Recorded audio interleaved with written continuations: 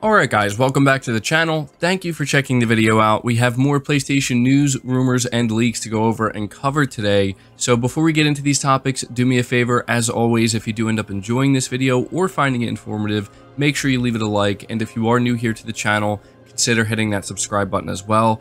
I also want to let everybody know that tomorrow, Sunday at 12 p.m. Eastern, I will be going live with the next episode of Press X Podcast here on the channel. So if you're interested in watching that and hanging out with me, feel free to stop by.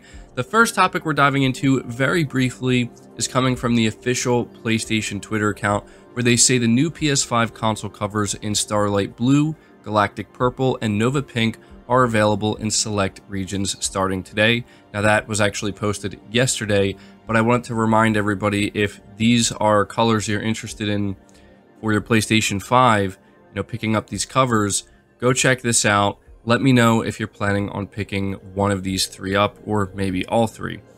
Next up, we're talking about the 2023 lineup for PlayStation 5 as well as PlayStation 4, but we're mainly focused on PS5 here. So I came across an article from Push Square where the title reads, The PS5 PS4 release schedule in 2023 is officially ridiculous.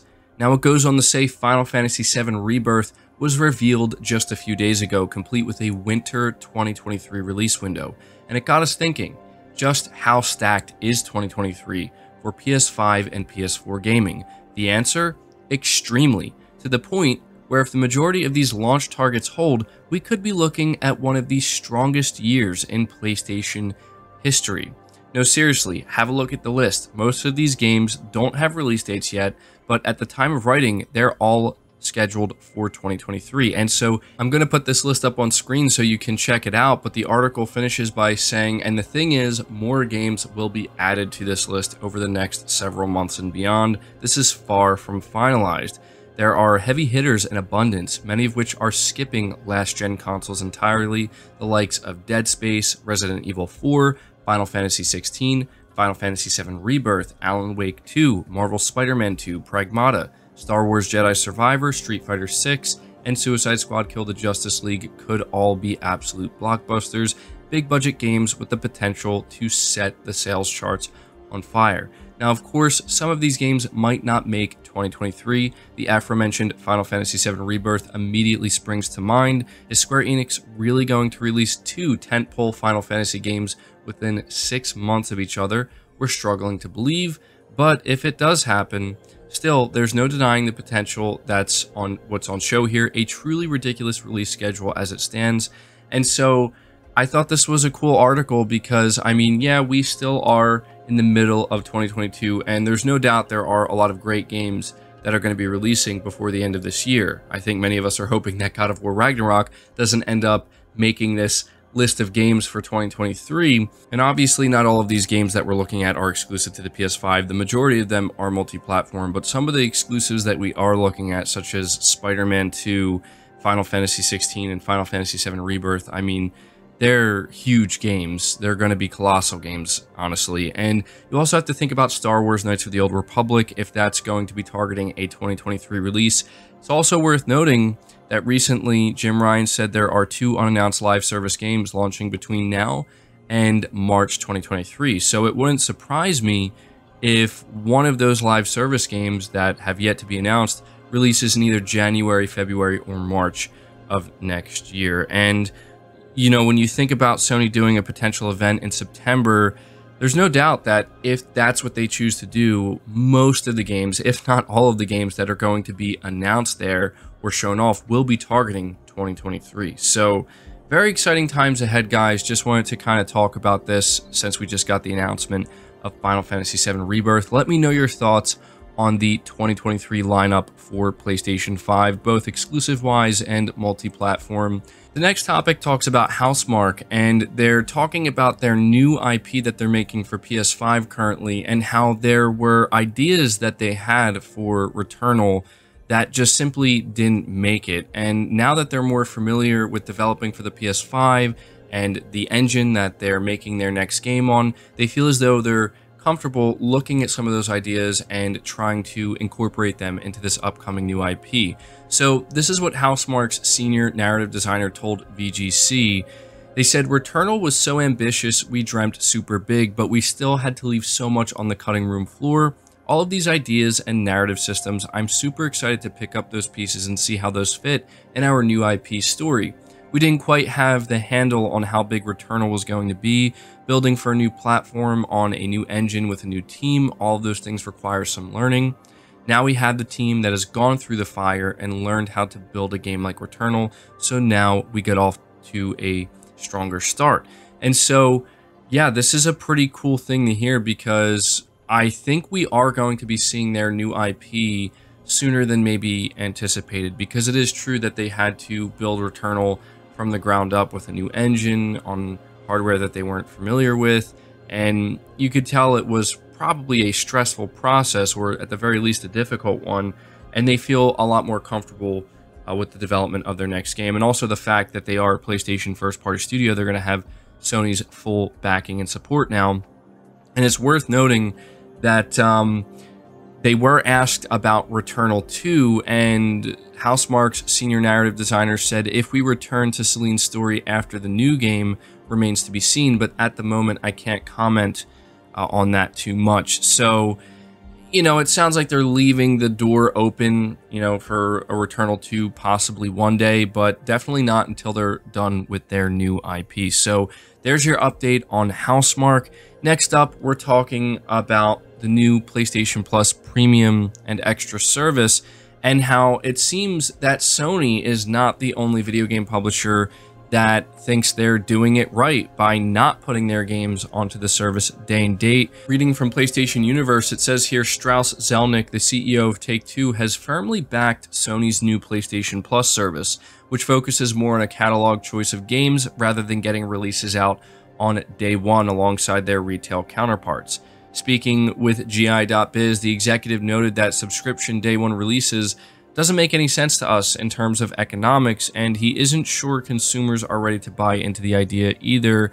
And so here is the full quote from Strauss Zelnick. Our skepticism has been around making frontline console products available day and date with subscription. That doesn't make any sense to us because, economically speaking, we don't think our customers are prepared to pay for that, and we can't afford to turn our business upside down in a way that doesn't make sense economically.